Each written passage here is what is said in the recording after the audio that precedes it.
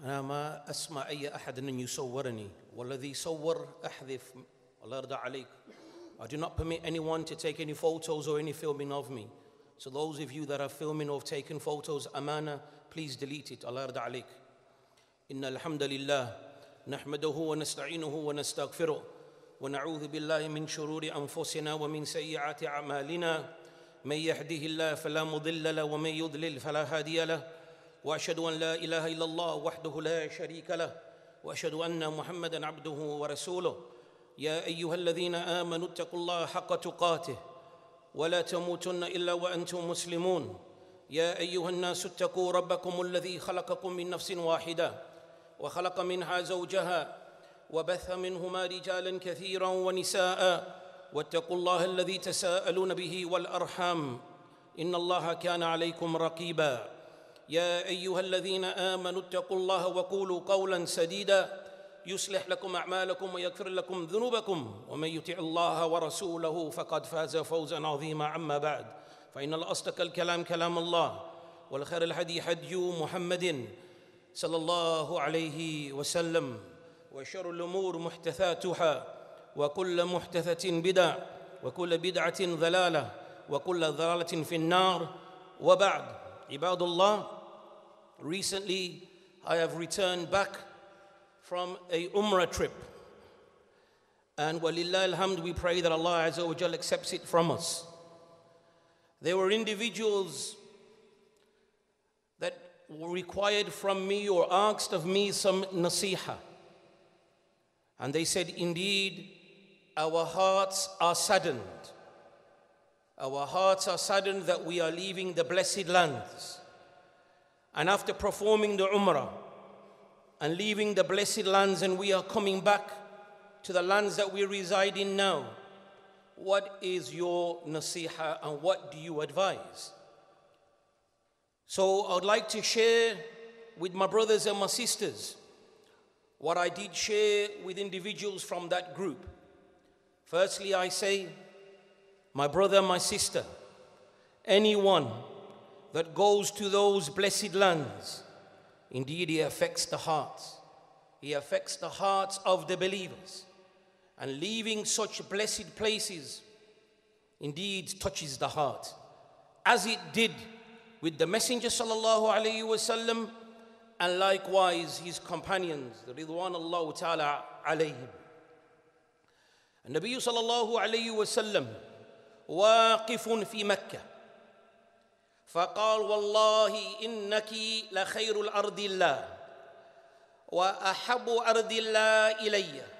والله لولا أني أخرجت منك ما خرجت. رواه ابن ماجه وصحه شيخ الباني رحمه الله. The messenger of allah صلى الله عليه وسلم standing in mecca said regarding that ard that place mecca that it indeed this is the best place on the earth. And from all of the land of Allah, you are most beloved to me. And had it not been that I have been told to leave it, then I would never have left you. This is what the Messenger wasallam said about Mecca. Likewise, even Medina. Even Medina, whoever leaves Medina, then subhanallah those of you that i've been to the city of the messenger sallallahu alaihi wasallam and then you have to leave you know that feeling. And that feeling was likewise for the companions of the messenger sallallahu alaihi wasallam but whenever i do leave medina i always reflect how it must have been for muadh bin jabal radiyallahu ta'ala an. Not only did he have to leave, but he had to hear the following. A qissa, wallahi, that touches even the hardest of the hearts and even hard to narrate. The, the Messenger sallallahu alayhi wa sallam, لما بعثوا معاذ بن جبل إلى اليمن فخرج رسول الله صلى الله عليه وسلم معه يوصيه ومعاذ راكب والنبي صلى الله عليه وسلم تحت راحلته When the Messenger صلى الله عليه وسلم was sending Mu'adh to Yemen, he walked out with him. And Mu'adh bin Jabal was on his riding beast. And the Messenger sallallahu alayhi wasallam was advising him that when you go to Yemen, how to give dawah.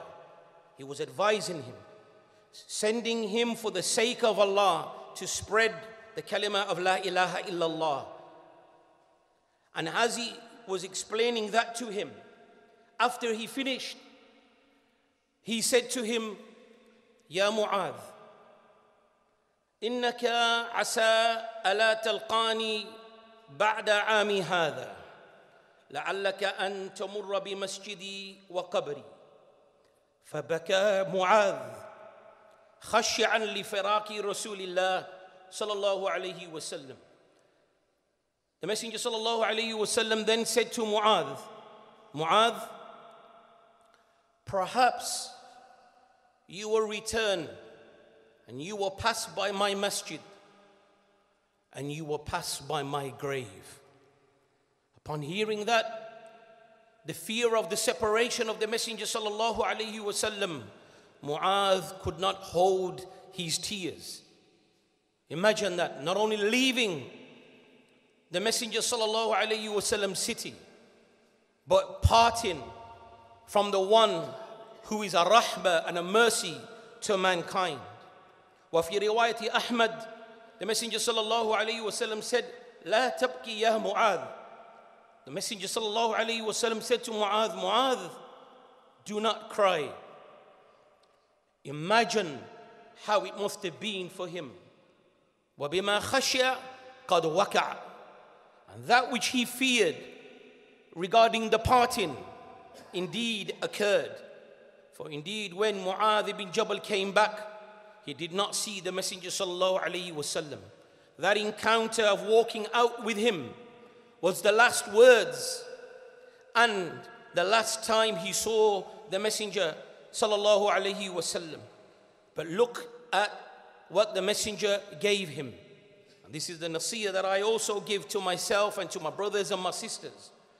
The messenger sallallahu alaihi wasallam then said to him turning towards Medina to soften his heart messenger sallallahu alaihi wasallam he said إن أهل البيت هؤلاء يرون أنهم أولى الناس بي وإن أولى الناس بي المتقون من كانوا وحيث كانوا He said, Mu'adh, verily my family and my people of Medina think that they are the closest and more deserving of me.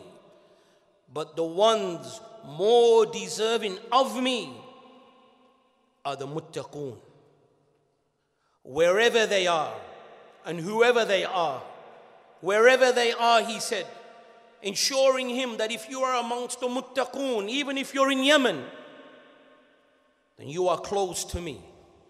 So then it is for us, upon us, وعلينا أن نكون من المتقين. اللهم اللهم اجعلنا منهم. It is from us to be then from the muttaqun. Oh Allah, make us from them.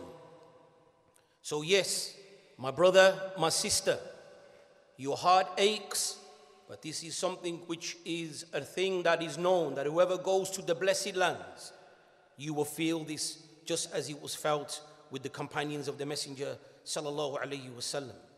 Then the nasiha is, the question is, is our umrah makbula? Is our umrah accepted? قالوا العلماء العلم عند الله The ulama they say that the knowledge is with Allah whether your umrah has been accepted or rejected ولكن هناك العلامات However there are signs and from those signs the ulama they say that you return better when you have come back from the umrah you are now a better person you stay away from the haram. You carry out more acts of righteousness. These are from the signs that indeed that Umrah affected you, that Umrah aided and helped you. You have come back and now you're a better Muslim. You're someone whose alaka with your Lord is better. So these are the signs. So then, how can we maintain that? How can we maintain the goodness that we have received and the blessing from Allah Azza wa Jal? For indeed it was a blessing.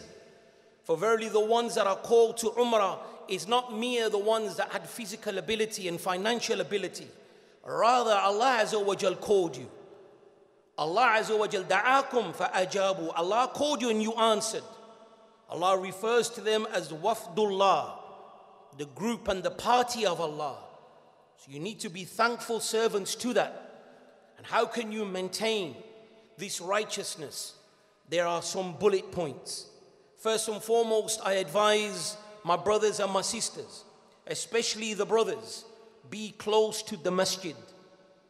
Be close to the masjid, for indeed it is the most beloved place to Allah subhanahu wa ta'ala. And stay away from those areas and places that will compromise your religion, will compromise you with your halal and your haram. Be wise, stay away from such places. Also, I advise my brothers and my sisters the Quran. The Quran, which is a guidance to mankind. The Quran, which is a cure to the hearts. That Quran that aided the Messenger sallallahu alaihi wasallam and his companions to fight against the kuffar and to conquer what they conquered and to spread the word of Islam. It was from the guidance of the Quran. قال الله عز وجل إن هذا القرآن يهدي للتي هي أقوم ويبشر المؤمنين الذين يعملون الصالحات أن لهم أجرا كبيرا Allah subhanahu wa ta'ala he says verily this Quran it guides to that which is most just and upright. And it gives glad tidings to the believers those believers that work out work righteous actions that they shall have a great reward. This is how the quran has been described. Also we have a verse in the quran ya ayyuhan nas قد جاءتكم موعظة من ربكم وشفاء لما في الصدور وهدى ورحمة للمؤمنين Allah subhanahu wa ta'ala, He says, O mankind, there has come to you a good counsel and advice, meaning this Quran. And Allah Azza wa Jal explains it and says, and it is a cure for that which is in the chests, a guidance and mercy for the believers. We must be close to the Quran. We must read it. We must understand it. If you don't have the ability for the Arabic, at least read the translations. Make it something that families sit and discuss it and read it together. It will bring your hearts closer. Indeed, it is the strongest form of guidance that we have. It is something that cures and protects. So we must be plentiful of it. Another thing which I advise as well, which is extremely important, my brother and my sister, to protect the istiqamah that you want to be on, you must look to see who your companion is. Who are your companions? Who are the ones that you are giving your ear to?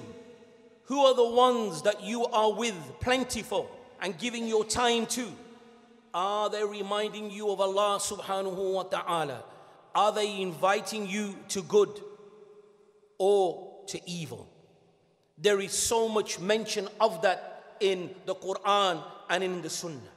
قال النبي صلى الله عليه وسلم الرجل على دين خليله فلينظر أحدكم من يخالل رواه الابن ماجه والترمذي وحسنه شيخ الباني رحمه الله تعالى the messenger said, Indeed, a man is upon the religion of his companion. So therefore, look to who he takes as a companion. How your companions are, you will be like that. Over the very least, it will rub off on you. Allah subhanahu wa ta'ala knower of all affairs, has made clear indication to this and give us a warning. And we cannot have a clear cut warning more than this, where Allah Azza wa Jalla states, وَيَوْمَ يَعْدُ الظَّالِمُ عَلَى يَدَيْهِ And on that day, meaning Yawm al-Qiyamah, it's too late to come back. That day, the wrongdoer, the sinner, will bite on his hands. يقول يا ليتني اتخذت مع الرسول سبيلا If only I would have embarked upon the path with the messenger, that right path. And then he will say, يا ويلتا لم أتخذ فلانا خليلا Woe be to me that I took him as a companion. This individual that Allah explains, لَقَدْ أَضَلَّنِي عَنِ الذِّكْرِ بَعْدَ إِذْ جَاءَنِي Verily, He took me away from the remembrance, this Quran, the correct path, after it reached me. This is regarding the companion that you may now think has your back. The person, the sister, or the brother that you think, no, he cares for me, loves me, just measure it. Measure that love and goodness according to the mizan of Ar Rahman. Is he or she inviting you to good? When you are with them, how is your iman? What are, what are the things that you are discussing? Where are you sitting? What are you watching? What are you doing? And this also goes for our children. We must be protective for our children where are our children going and who are their companions. Wallah, it plays a big role. If Allah Azza wa Jalla has clearly indicated that a bad companion can take you away from the Sirat al Mustaqim, then we must take heed. So these are some of the points, my brothers and my sisters, bi'idhnillah, that will aid us to remain firm after the blessed trip that Allah has blessed us with. May Allah keep us firm. Ameen. Barak ala nabiyyina Muhammad wa alihi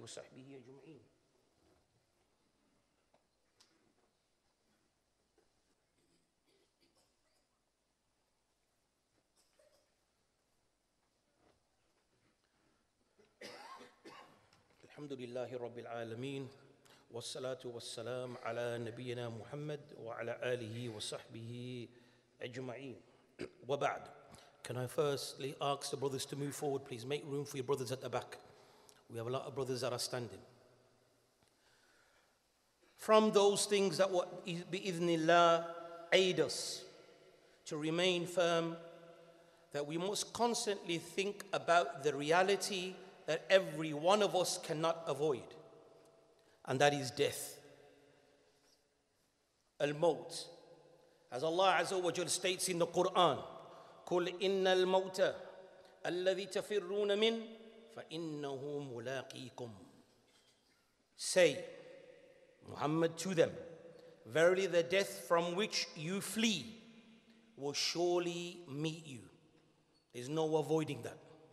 ثم تردون إلى عالم الغيب والشهادة فينبئكم بما كنتم تعملون Then you will return back to Allah subhanahu wa ta'ala, the all-knower of the unseen and the seen.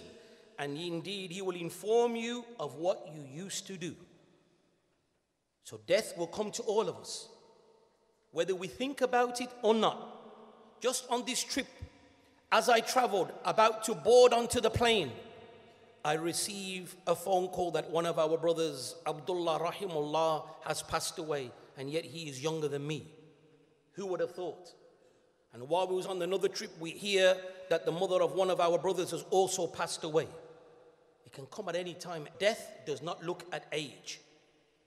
We must constantly think. And the second part of that is know that after our death, we will return to our Lord and we will stand in front of him. And that standing will either be easy or heavy, dependent upon how you was in this life. We have to seek refuge in Allah Azza wa Jal, that we are not from those that Allah subhanahu wa ta'ala describes when He says, قُلْ يَتَوَفَّاكُمْ مَلَكُ الْمَوْتِ الذي وكل بكم ثم إلى ربكم ترجعون Say to them that indeed that angel, that angel of death who is appointed to take their soul will come to them and then they shall return to us. Then Allah Azza wa Jal then describes now the moment of the standing and the standing of the wrongdoers, the standing of those who are neglectful, disbelieving, and wrong. Allah Azza wa Jal, from His mercy, has informed us. So we try our utmost best not to be from them. Allah Azza wa Jal, He says, ولو ترى إذ المجرمون ناكسوا رؤوسهم عند ربهم And if you was to see the mujrimun, the wrongdoers, hanging their head down in front of their Lord, hanging their head down, knowing that they were wrong, and they will plead, ربنا أبصرنا وسمعنا فارجعنا نعمل صالحا إنا موقنون Oh Allah, we have seen and we have heard. Return us back and we will work righteous actions. Indeed, we believe with certainty. And there on a few further ayat, then Allah Azza wa Jalla addresses them. فذوقوا بما نسيتم لقاء يومكم هذا إنا نسيناكم Allah Azza wa Jal says to them, Taste, this is what you forgot. This is what you denied and forgot, and today you shall be forgotten. وَذُوقُوا عَذَابَ الْخُلْدِ بِمَا كُنْتُمْ تَعْمَلُونَ So then taste the eternal punishment, everlasting punishment due to your actions. So this is another thing that we need to reflect. The inevitable, which is death, and then the standing in front of Allah Azza wa Jal. We must prepare for that. And when you think about that, then bi-idhnillah, that will aid you, bi-idhnillah, to remain firm. And lastly, I advise that have honor regarding your religion. Honor your religion. Honor the customs of your religion. For indeed, that is true honor. Be proud to be a Muslim. Be proud to act upon the commands of your Lord. And do not be shy to stay away from the prohibitions. Do not give in to peer pressure. For indeed, Islam is what gives us honor. Adhering to the book of Allah and the sunnah of the Messenger sallallahu alaihi wasallam, that is real honor. Even if you are from the poorest of people or the weakest in status, but if you are good with Allah, then that is true honor. Umar ibn Khattab radiallahu ta'ala he said, Inna kunna adhal al-qawm, fa'azzana Allahu bil-Islam. Umar ibn Khattab, he said, verily, we were a people that was low and humiliated. And then Allah Azza wa Jal gave us honor through Islam. فمهما نطلب العزة بغير ما عزنا الله به أذلنا الله and whenever we will seek then honor and sharaf and nobility through other than what Allah made us honorable with, then you will be humiliated. Remember this. It is Islam that gives us strength. It is Islam that gives us honor, nothing else. And I want to finish off with a story to prove this point that I'm saying now. Even though we all believe and we're brothers and sisters, but bi'ithnillah, the reminder benefits. The story of an individual that had nothing, had nothing, but yet look at the sharaf that he received and the nobility and the honor. Qissatu Julaybib, the story of Julaybib, Wawa Ansari from the Ansar. وكان قصيرا دميما خلقا he was an individual that said is described to be as deformed. And he was an individual that was short and not pleasant to look at. غير منسوب أي لا يعرف نسبه. He did not have a lineage to go back to. And in the time of the Arab, your strength and honor was that you come from a tribe that is known and strong. And if you don't have a tribe behind you, then your qima and your worth was nothing. So this individual, not only is his appearance in this manner and described, short, somewhat deformed, not pleasant to look at, and yet a nobody, belongs to no tribe. However, when he met the Messenger sallallahu alaihi wasallam, iman entered into his heart. And the Messenger sallallahu alaihi wasallam said to him on occasion that I will get you married. Then he said, Who will marry the likes of me? So the Messenger sallallahu alaihi wasallam sought for his hand from one of the nobles of Ansar. And when the hand was sought, the father of the bint couldn't say no to the Messenger sallallahu alaihi wasallam. So he said, "فَأُشَاوِرْ ahli, Let me speak to my family. And when the mother was told, then she said, Subhanallah, ما وجد رسول الله صلى الله عليه وسلم إلى جليبيبا There's no one else that he could put forth except for Julaybib. No, we will not give our daughter to, Julaybib.